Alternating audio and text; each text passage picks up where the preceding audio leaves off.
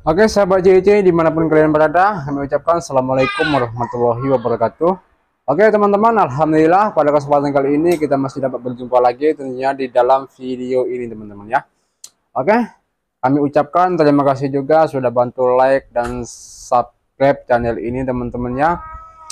Seperti biasa teman-teman sudah kita lihat di layar televisi saya ini tidak ada siaran sama sekali teman-teman ya apa solusinya? Maka dari itu teman-teman ya ikuti terus video ini sampai selesai. Jangan di skip-skip biar tidak gagal paham. Oke teman-teman langsung saja kita mulai ke tutorialnya. Seperti biasa saksikan terlebih dahulu tayangan berikut ini teman-teman ya.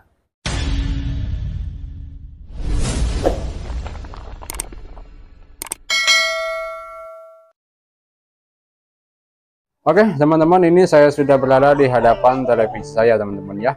Ini untuk gambar televisi program tidak ada teman-teman ya. Ini bagaimana cara solusinya mengatasinya teman-teman ya? Oke teman-teman jangan panik. Ikuti terus caranya seperti ini teman-teman ya. Seperti biasa kita ambil remote ini teman-teman ya. Yaitu saya menggunakan masih receiver lama teman-temannya masih Optus Caption teman-teman ya ini cara mengatasinya untuk siaran yang program tidak ada seperti ini teman-teman ya kita langsung saja masuk ke menu remote teman-teman ya kita ambil remote kita tekan menu seperti biasa teman-teman ya selanjutnya kita coba beralih cek terlebih dahulu untuk siarannya teman-teman ya langkah pertama kita harus mengecek siarannya terlebih dahulu. Ini kita geser ke kiri ataupun ke kanan teman-teman ya coba geser ke kanan ini satu kali lagi teman-teman. Satu kali lagi. Terus geser lagi teman-teman. Nah, sampai bertemu tulisan siaran televisi teman-teman ya. Oke sudah kita dapatkan siaran televisi. Selanjutnya kita tekan oke teman-teman. Tekan oke ini memang siarannya tidak ada teman-teman tidak ada saluran. Mohon instalasi dulu teman-teman ya Oke maka dari itu kalau siarannya seperti ini biasanya ini ada proses update biasanya di receiver Capison seperti ini teman-teman ya. Jadi kita harus mengisi program yang baru. Caranya bagaimana? Oke teman-teman simak terus video ini sampai selesai ya teman-teman supaya tidak gagal paham. Oke teman-teman kembali kita masuk ke menu yaitu kita cari daftar satelit. Ini sudah terlihat teman-teman ya. Ini ada daftar satelit teman-teman ya. Kita masuk ke daftar satelit. Geser ke bawah. Oke teman-teman kita geser ke bawah. Lalu tekan OK pada remote. Oke teman-teman ini sudah terlihat untuk daftar satelitnya teman-teman ya ini Capison C seperti biasa untuk Telkom. Dan kita beralih ke Telkom saja teman-teman ya. Kita beralih ke bawah. Kita pilih Telkom. Ini untuk sinyal sudah naik cuman belum berubah warna teman-teman ya. Seperti biasa kita centang. Ini teman-temannya kita geser ke bawah ke telkom. Kita centang tekan ok. Selanjutnya kita cari ini teman-temannya kita cari. Dalam menekan cari yaitu kita tekan tombol warna biru ini teman-teman ya. Oke. Oke ini ada tulisan seperti ini teman-teman. Kita geser ke atas ke atas lebih dahulu teman-teman ya. Ini mode kita rubah menjadi mode buta. Oke teman-teman seperti ini mode buta seperti ini teman-teman. Selanjutnya untuk FTA kita biarkan tidak seperti ini teman-teman. Untuk ini TV kita gunakan siaran TV saja teman-teman ya. Terus selanjutnya kita mulai men-scan-nya teman-teman. Lanjut kita tekan OK. Oke teman-teman.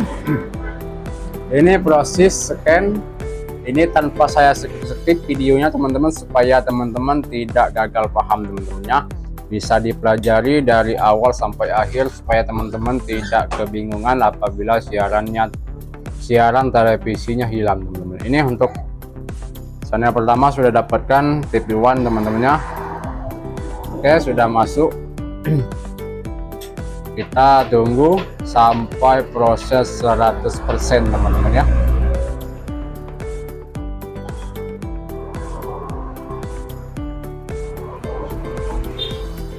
Oke teman-teman seperti biasa sambil menunggu jangan lupa dibantu like-nya dan share video ini. Dan juga yang belum subscribe dipersilakan subscribe-nya teman-temannya supaya teman-teman dapat terus notifikasi video-video terbaru dari CIC ataupun Indro channel teman-teman ya. Jangan lupa diaktifkan tombol notifikasinya teman-teman ya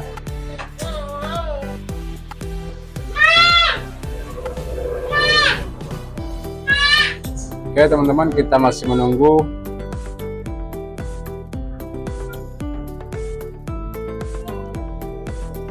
Ini dibutuhkan waktu sekitar 5 menitan teman-teman untuk proses scan ulang seperti ini teman-teman ya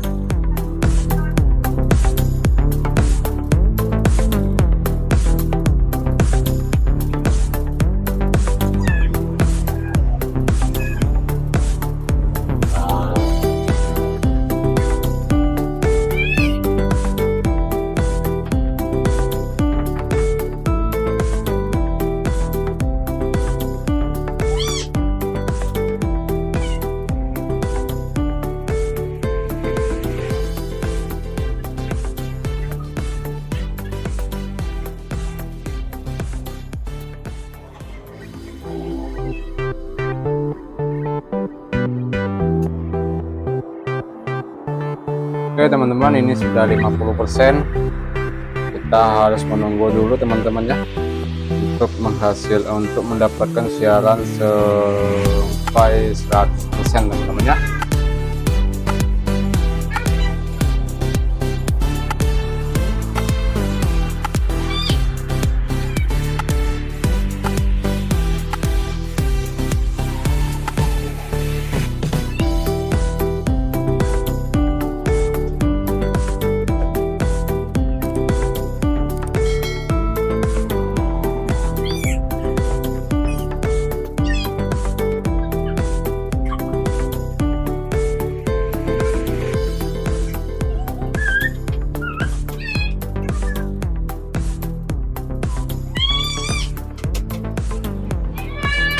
Oke teman-teman sudah mendapat 83% teman-teman ya.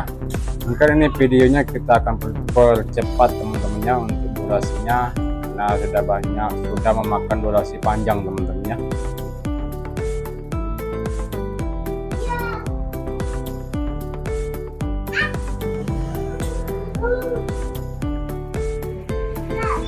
Oke sudah mendapatkan siaran 292 siaran ya ini.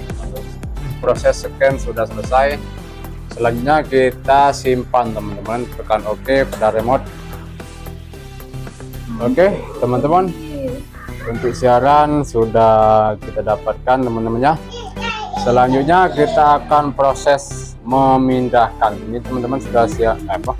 Siaran sudah kita dapatkan semua teman-teman ya. Oke teman-teman Indosiar sudah celing semua teman-teman ya. Bagaimana cara memindahkannya teman-temannya seperti biasa ini sudah sering saya buat di video saya yang lain teman-teman ya. Ini boleh kalian cek di link di atas teman-temannya untuk cara memindahkannya. Oke jika teman-teman masih kebingungan maka dari itu saya akan buatkan juga. Saya akan beritahu bagaimana cara memindahnya teman-temannya seperti biasa kita tekan OK pada remote. Seperti ini teman-teman kita tekan tombol warna kuning ini teman-teman. Itu sama warna kuning juga teman-teman ya. Kita tekan tombol warna kuning. Selanjutnya kita tekan nomor 2 teman-teman itu. Kita tekan nomor 2 untuk memindahkannya. Oke selanjutnya kita tekan OK pada remote yaitu kita geser ke atas. Nah seperti ini teman-teman. Dilanjutkan terus seperti itu memindahkannya teman-teman ya. Oke kita cari terlebih dahulu untuk siaran-siarannya. Tinggal kita untuk memindahkannya teman-teman ya.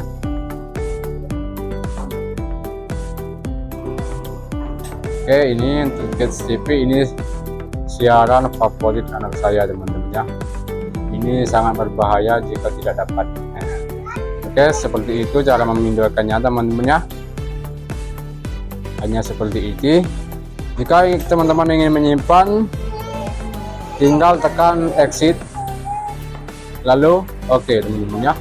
Maka siarannya sudah berpindah menjadi urutan seperti ini teman-teman ya. Siar KTP SCTP teman-teman ya. Oke okay? saya kira teman-teman semua sudah paham caranya cara mengatasi jika receiver hilang program seperti ini teman-teman ya.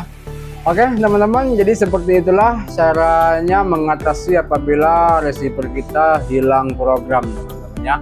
Jangan panik dan jangan kebingungan yaitu cukup kalian tonton video ini sampai selesai. Insya Allah dapat bermanfaat teman-teman ya.